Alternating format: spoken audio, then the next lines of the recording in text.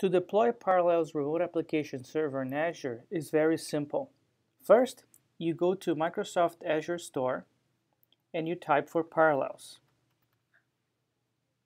Once you have your selection done, click on Parallels Remote Application All-in-One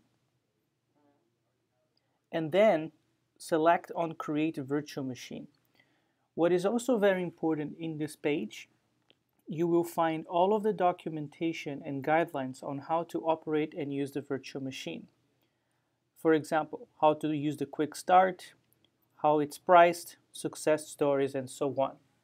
So first, let's deploy a virtual machine and then log in into, uh, into the VM in a few minutes. We'll create a new virtual machine instance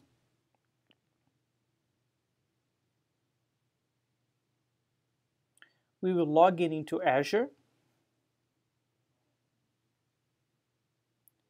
confirm the deployment model. It's using Resource Manager.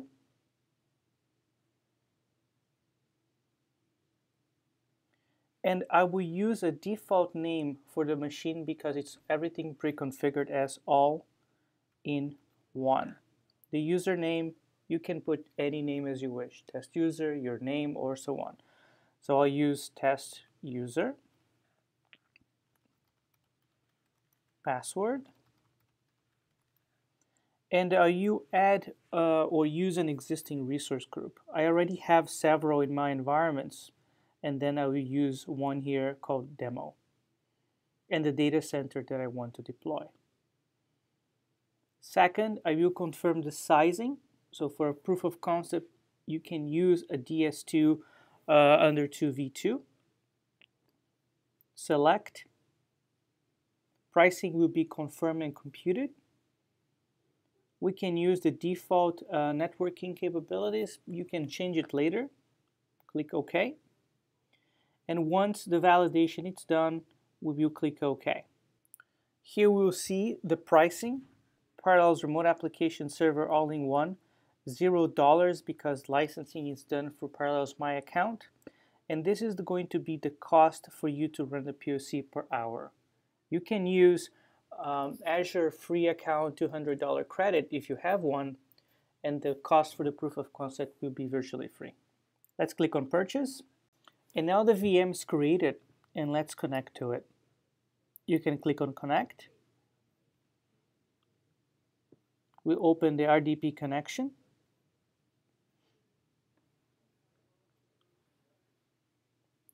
And here you can use the user that's defined in the quick start guide.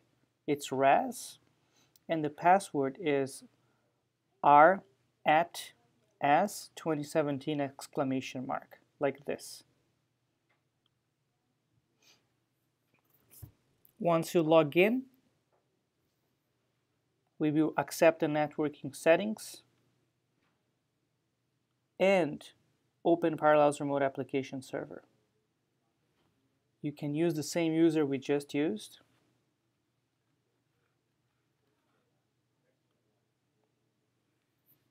We're checking the configuration of Parallels Remote Application Server.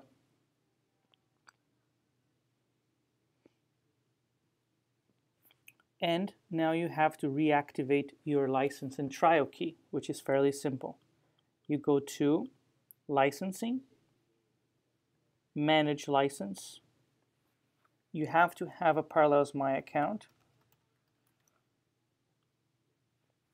And you can either activate a trial or use an existing key. Trial has been activated. Click Yes. Settings has been refreshed.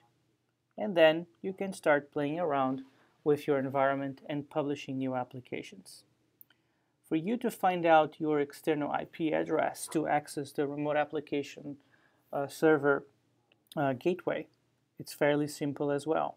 You go back to um, your connections here, and in network interfaces, we will see the public address. So you copy this IP address,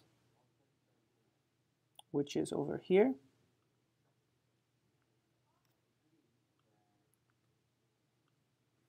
HTTPS